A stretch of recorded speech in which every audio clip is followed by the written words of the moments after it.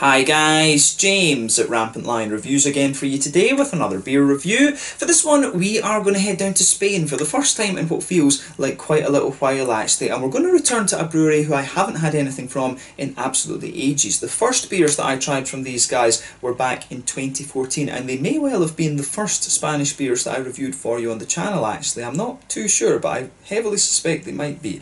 So for this review then, we are going to go down to Valencia in the southeastern part of the country country and we're having a look at my third beer from Cerveza Tyris. This one is simply called IPA and it comes in at 6% ABV. So we got this beer through uh, the Tillfällig sortiment in Systembolaget here in Sweden and I can't remember exactly what date this one was released because they've just changed it all recently so we get many different releases from the, uh, the assortment these days. But definitely cool to return to this brewery after about six years, it's just crazy. And um, the other beers that I had from these guys before, it was a brown ale, which I remember being really quite nice, and also the VIPA, the Valencia IPA. And I don't know if this beer is, you know, a reiteration of the, the VIPA or something like that, just rebranding and stuff, because if you go back and watch my other videos, the labels on um, the original Cerveza Tyris beers are remarkably different, uh, or markedly different, I should say, compared to what they have now. So, um, yeah, really curious to see how this one turns out. Very nice to return to Spain, of course. It seems to be a little bit of an unwritten rule in Europe that countries that are very good at winemaking tend to be uh, very good when it comes to craft beer as well. And Spain is no exception to that rule. You'll find the same in Portugal by all accounts. Um, Italy, I know, Slovenia and Greece are also in that bracket. I've had some very, very good beers from those countries. I do to review more Portuguese beer actually, and I would love to review more different things from Spain as well. So uh, yeah, I need to get over there and have a visit. I've played um, Spanish guitar, flamenco guitar, since I was like seven, eight years old, and uh, my guitar actually that I have, one of them, was built in Valencia, Raimundo. So I do need to get over to Valencia and uh, you know go and try some of the beers and go and visit the uh, the Raimundo factory. That would be pretty damn awesome to do actually. So uh, yeah, definitely something that's on the cards for the future. I've never been to mainland Spain, so that's something that I really really want to do sometime soon. But yeah, really cool to return to Cerveza Tyris after such a long time. I do hope we can review more Spanish beers on the channel over the next little while. We'll need to see if uh, if we can sort that out. But yeah, I hope you guys enjoy my take on this beer as well. So let's see how we get on. As always with my reviews then, I'll tell you a little bit about the brewery before we taste the beer. If you want to get straight to the tasting, just fast forward. All the usual links are in the description below. That's the brewery website, the link to my other reviews that I've done from Cerveza Tyris before. Hopefully I can review more beers from these guys in the near future, as well as other breweries in the Valencia area. There's all the usual social media down there too. If you want to see more reviews, do please consider subscribing to the channel. The whole channel, of course, has a geography-based tagging system, so you can go into the homepage and search for beer based on country, city, state, county, province, prefecture, whatever it is you're interested in. Do check out the playlists of beers from different countries. There is one there for all the Spanish beers that I've reviewed for you, including the things from uh, Catalonia and Euskadi, the Basque Lands country or Basque Country, I should say. And um, yeah, you can check that. You can check that list out. That list is being added to whenever I get the opportunity. And as always, please do get in touch and let me know some of the other beers and breweries that you guys would like to see me review. It's always great to hear from you guys that are watching the videos, and the support that you show the channel is hugely, hugely appreciated.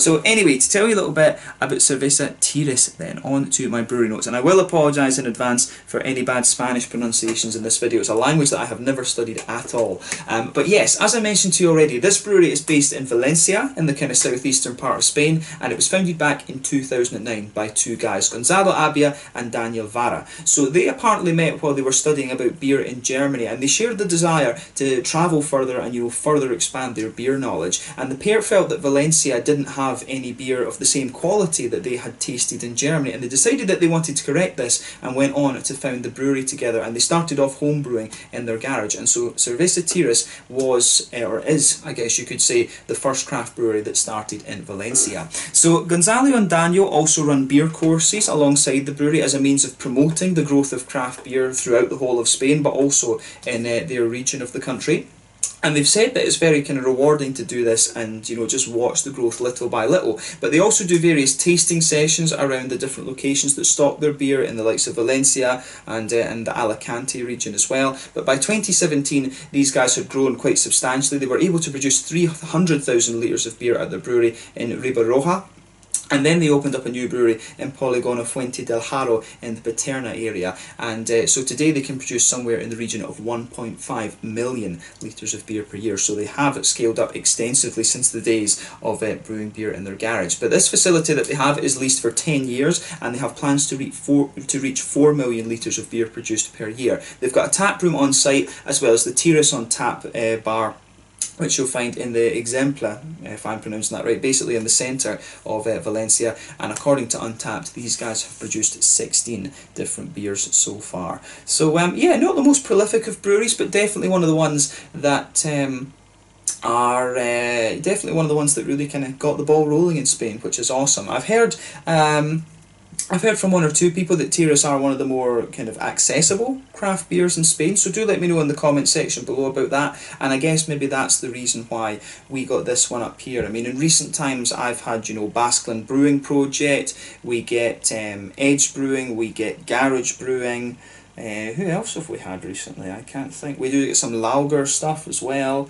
Um, you know, we, we get quite a few uh, beers up here from Spain um, in the Tilfällig assortment and things like that in Systembolaget. But this is one that I have, I think, has never been into the, the Tilfällig assortment before. So this one um, is the, I think is a first for Sweden. Do let me know if you're watching from Sweden and you've seen some other Tyris beers. But in the five years I've been here, I don't think I've seen um, a Cerveza Tyris beer actually. So um, yeah, very cool to have these guys on the channel once again. That's all the information I can tell you about Cerveza Tyris for the moment. If you do want to learn more, you can check out the brewery website. You can follow them on Facebook and Instagram to keep up to date with all the latest goings on. And of course, you can check out the Rate Beer, Untappd and Beer Advocate pages to learn more about all the different beers that these guys have done. So um, yeah, let's get on and have a taste of this one then. So as I said to you, this one is a 6% IPA, simply called the IPA. I don't know if this is a kind of reiteration or um, a reimagined version of the VIPA that I reviewed for you a good number of years ago. You can see plain black bottle cap on this one, um, and yeah, it tells you a little bit the thing you can see this one has a special label actually. This one does have Swedish on it so it's obviously been you know planned and executed if you like. Does it say who actually imported this into Sweden? It, it would tell it will tell you that on the um, the Systembolaget website actually. They always have their supplier on there but I'm not sure who would have exported uh, or exported imported this one uh, to into Sweden however you would say. But um, yeah this one should be really nice. So 6% IPA 330 milliliter bottle. I think I paid about 30 35 crowns for this one.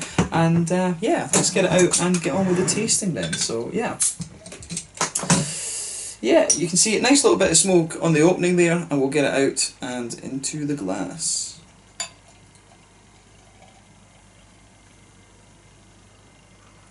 Let's see, there we go. Oh yeah, definitely looks a bit more like a kind of West Coasty type IPA, this one.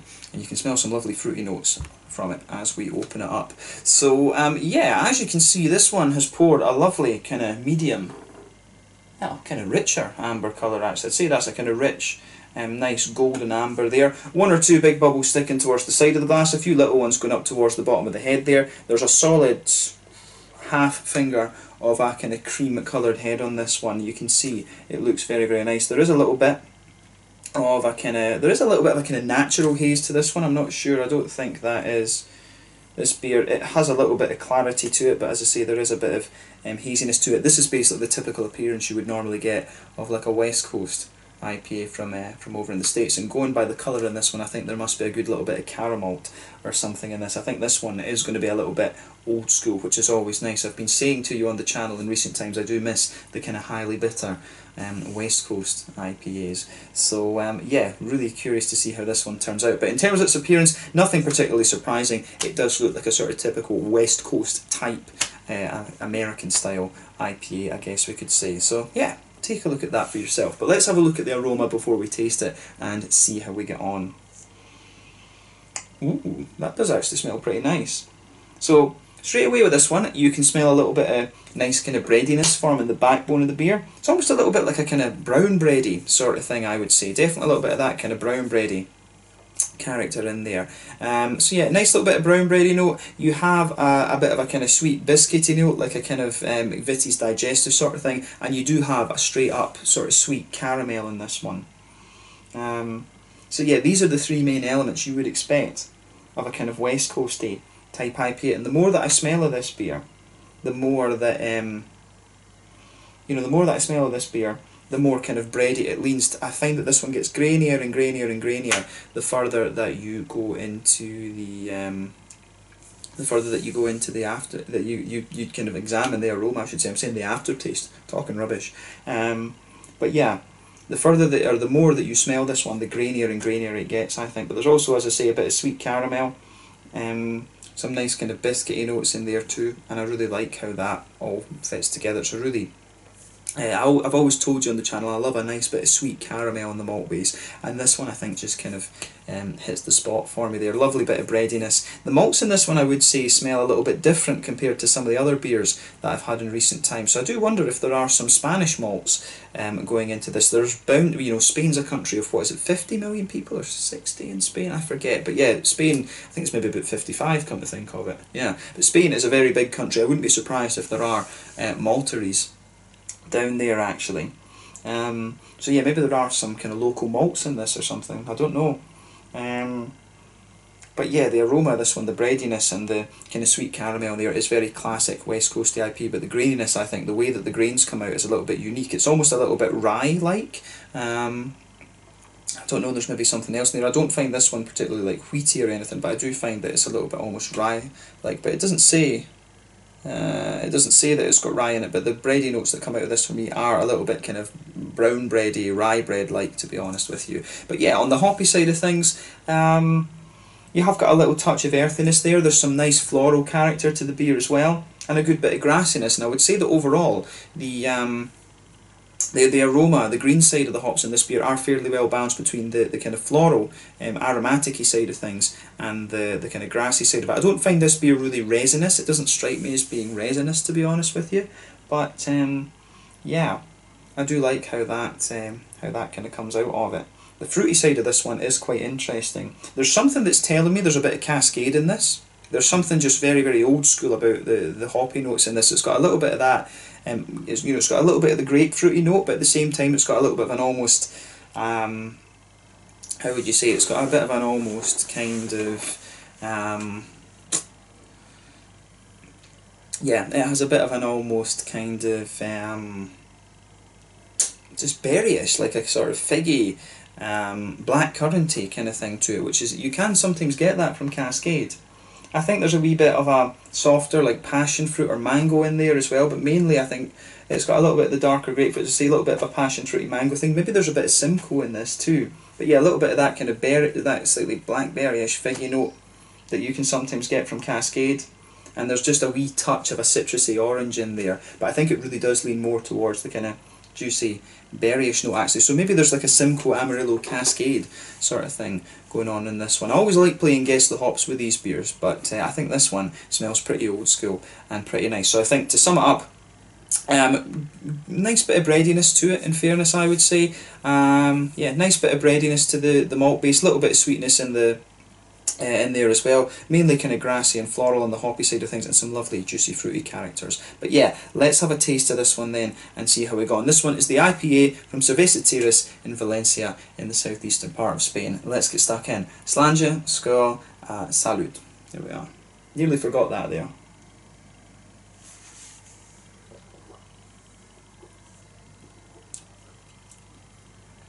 Yeah. That's pretty nice. Um,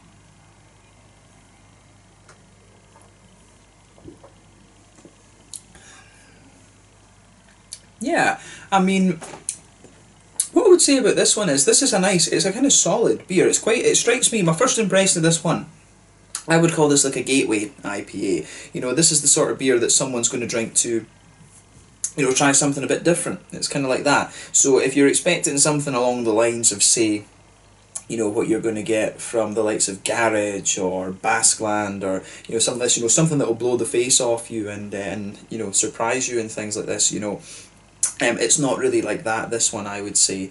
Um, it is more of a, a kind of gateway introduction beer, this one. I mean, when they are a bigger by volume brewery, um, that is kind of what tends to happen a little bit. They sort of, they do beers that are more accessible for people. So I can understand that one. But yeah, this is quite a nice sort of drinkable beer. This one. This is the sort of IPA you'll find in in uh, in different restaurants and things like that. So uh, yeah, I do like that. You know, this is a drinkable beer. It is quite a nice drinkable one. This this is the sort of thing, as I say, um, someone who is used to you know lager beers and stuff like this um, would try for something a little bit different. It's a good gateway IPA. I think that's a good way to describe this one.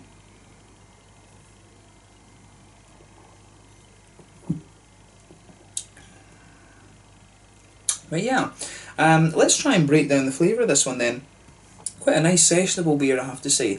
So um, yeah, in terms of the uh, the malt base, then straight away with this one, um, the middle of your palate gets blanketed with that nice kind of um, sort of grainy, bready malt base there. Um, you can feel um, it really does.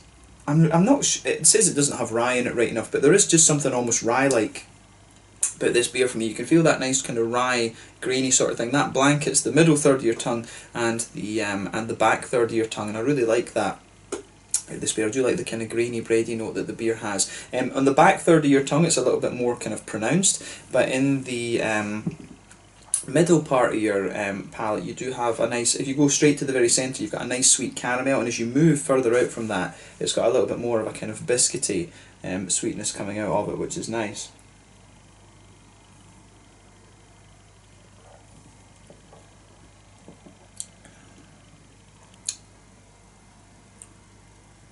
Yeah, um, I do like that about the. Um, I do like that about this one. So yeah, some sweet caramel in the centre of your palate, like I say, more biscuity as you go further out, but then you get this nice kind of grainy, bready sort of thing. I think the malt base in this one is very kind of straight up. There's maybe if you go to the front corners of your palate and go in a little bit, you'll maybe get a very, very, very, very slight woody undertone to the beer. But yeah, very, very straight up in the middle of the palate, as I say. Great, you know, sort of grainy, almost rye bready base, um, kind of a bit of a biscuity quality kind of sitting on top of that. Then right in the centre of the tongue, you get a wee bit of a sweet caramel. And this kind of, you know, it makes sense when you think about the colour of this beer. It's the different kinds of malt that usually affects the, the colour and the EBC rating of the beer. But yeah, pretty straight up, as I say. It gets a bit more grainy as you go further back on the palate but this is a pretty nice, it's got a nice kind of solid malt base to it. In the back corners of the tongue you've got a nice little touch of, um, of earthiness to it. Not too strong, not too strong, just a little bit there, but as you come further forward along the sides of the palate, it just smoothens out a little bit. You get a nice little bit of floral aromaticity there as you reach the front corners of the palate. Then round the very front curve of the tongue, it's just a little bit lighter and more um, grassy. And yeah, I like how that kind of goes together in this beer.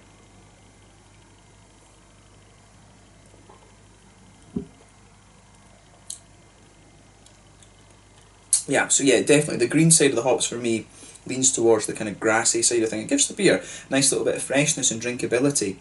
And as I say, on the front third of your tongue, um, that's where you get that nice little oily bubble where the juicy fruity esters start to roll out of the beer. And it comes across as a bit oily in this one. So if you go to the back of that front third of your tongue, there's a nice little bit of um, there's a nice little bit of a kind of darker sort of grapefruity note there, but it's not too pungent, I would say. As you come further forward from that, um, it does get, there is maybe a wee touch of a kind of more passion fruity, mangoey type note there, but yeah, it does. The fruit on this one, on the front part of your palate, it's quite, um,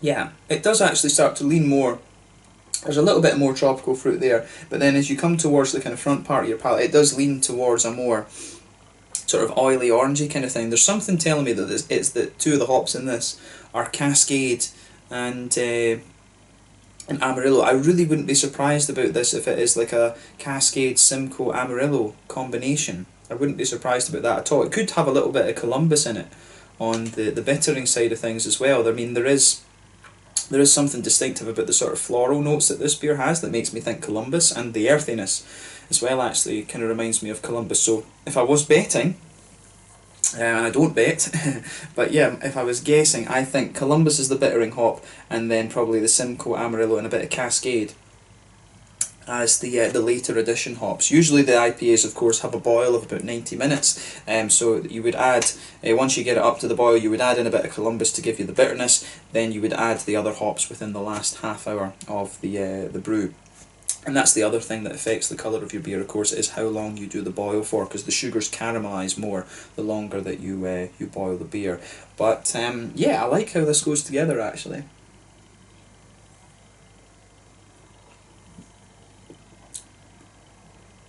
yeah. Um, but yeah, the fruity side of things, as I say, it really starts to get more and more orangey. The further you go into the aftertaste, it does have a little bit of that kind of almost figgy note that you would expect from Cascade as well. I know the Cascade hop really well because my local brewery at home, the um, the Harviestoun Brewery, they're uh, the pills, the lager beer that I always used to drink from them, the uh, Schiehallion, um, the Schiehallion one, it always, uh, you know, it was always Uh, it was made from Cascade, and I just got a really, and I know that hop quite well. There's just something telling me there's Cascade in this one. But I have to say, this is really quite a nice sort of gateway type IP. I think that kind of sums it up nicely. It's one of the more grainy IPAs I've had in recent times. It's got a nice little bit of bitterness to it, and it's got some of the nice oily, fruity characters there. It's really nicely done. It's not one that's going to blow the face off you, as I say. It is a nice drinkable beer, this, and a good one for people who are looking to get a little bit more into the the uh, the craft beer side of things, or the cerveza artesanal, I think, as they call it in um, in Spanish. So yeah, nice beer this one. Thumbs up to Tyris for this. This is a an easy going one. This actually, this is one that you could easily sit and have a few of. So um, yeah, uh, on the mouthfeel side of things, then definitely mid bodied. Um,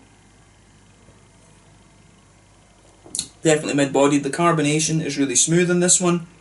It's got a balance between a wet and an oily mouthfeel actually. Um, the wetness gives you, it's got a good little bit of a refreshing quality. I mean, when you're in a hot country, a southern European country like that, you do want the beer to have some kind of um, refreshing, thirst quenching quality to it actually.